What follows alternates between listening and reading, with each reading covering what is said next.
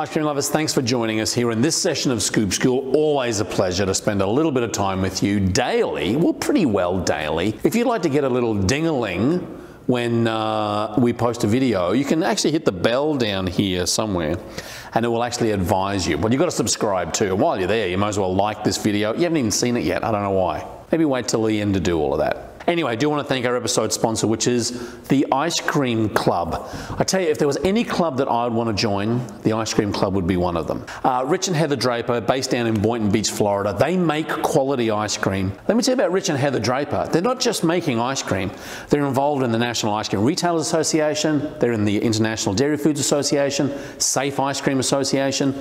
They're really very knowledgeable on the process of safe, beautifully well crafted ice cream that you can sell in your shop. TheIceCreamClub.com. The link is down below. When you're talking to Rich and Heather, you tell them that I said hello. Now is the time. I know everybody's in the throw of a very busy season, but we're going to start winding down pretty soon. And now is the time that you're going to want to start thinking about what you're going to do for the crossover season, the winter season.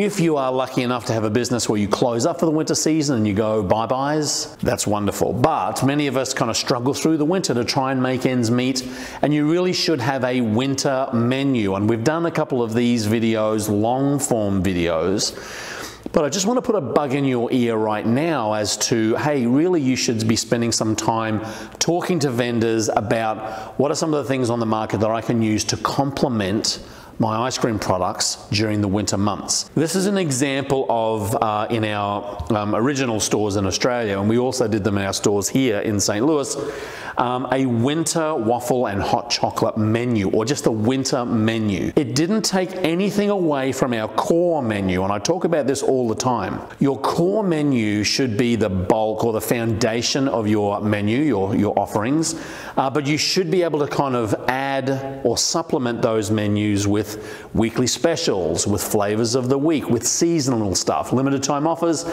and your winter uh, menu should be one of them. We just did a pretty simple uh, menu. We did a fresh Belgian waffle sundae and we also did a hot chocolate float or a hot cocoa float. We got our Belgian waffle maker from Cobatco, but you could get yours from really any manufacturer.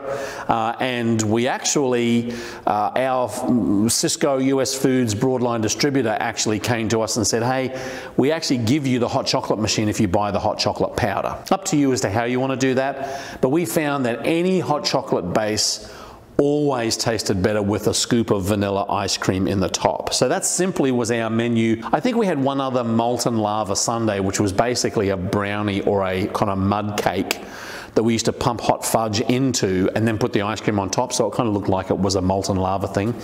But that juxtaposition, and you know I love saying that word, juxtaposition, juxtaposition, juxtaposition of hot and cold really does make a great menu item for the winter months. So um, a little bit of a bug in your ear, start thinking now, talk to your suppliers now about what are the things that I can sell in the winter time in order to kind of drive those sales. You don't need to necessarily take anything off the current menu, but you do want to add maybe for a month or two uh, or three some of these items that are easy to make that get people coming in and they keep loyalty. They keep that loyalty to your brand, which is most important. Look, that's all we have time for. If you have some great winter menu items that you've sold in your shop or you're considering, leave them in the comments down below. We love reading about them.